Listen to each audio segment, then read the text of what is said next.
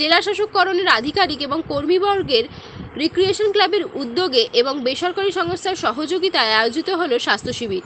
বুধবার জলপাইগুড়ি জেলা শাসকের কার্যালয়ে বিনামূল্যে স্বাস্থ্য পরীক্ষা শিবিরের উদ্বোধন করেন জেলা শাসক মৌমিতা গোধরা বসু।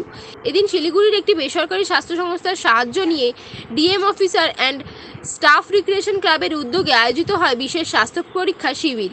এই শিবিরে জেলা পরিষদের কর্মীদেরও স্বাস্থ্য পরীক্ষা করিয়ে নেওয়ার আহ্বান জানান জেলা শাসক। উদ্বোধনী ভাষণে জেলাশাসক বলেন, সবারই বছরে একবার সাধারণ চেক করে নেওয়া উচিত। আমরা সবাই যাতে সুস্থ থাকি, সেটাই মূল লক্ষ্য এই স্বাস্থ্য শিবিরের। শিবির প্রসঙ্গে ক্লাবের সম্পাদক জানান, এই শিবিরে জেলা শাসক অফিসের কর্মী এবং তাদের পরিবারের সদস্যদের বিনামূল্যে স্বাস্থ্য পরীক্ষার ব্যবস্থা করা হয়েছে। এখানে বিভিন্ন যে হেলথ চেক এখানে খুব অভিজ্ঞ ডক্টরসরা আছেন, যারা এই চেক করবেন।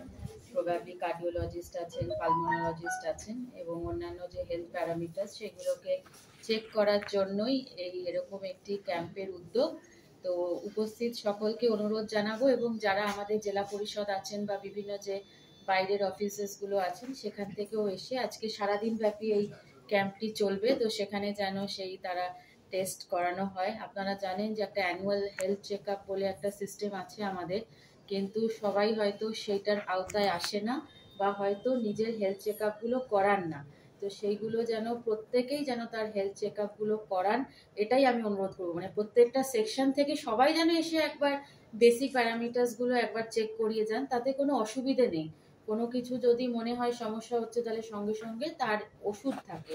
তো সেইগুলো সকলে যেন আসে, সকলে যেন সুস্থ থাকে। আমাদের এই কালেক্টরেট পরিবার, জেলা পরিষদ পরিবার সেটাই আমরা সকলে চাই। তার জন্য আপনারা যে উদ্যোগ নিয়েছেন, সেটা আমি সত্যিভাবে স্বাগত জানাচ্ছি এবং পরবর্তীকালে apart from this health check up আমাদের সাথে আপনাদের যা কথা হয়েছে সকলের, সেখানে হয়তো আই চেক আপ তারপরে হয়তো ব্লাড ডোনেশন ক্যাম্প এগুলো আগামী দিনে একটা আয়োজন করা হবে। আবার সকলকে ধন্যবাদ। উপস্থিত এডিএম সাহেবরা, অন্যান্য অফিসিয়াল স্টাফ সকলে যারা উপস্থিত আছেন এবং স্পেশালি দ্য ডক্টরস ফ্রম দেশুন তাদেরকেও আমি স্বাগত জানাই এবং অনেক অনেক ধন্যবাদ।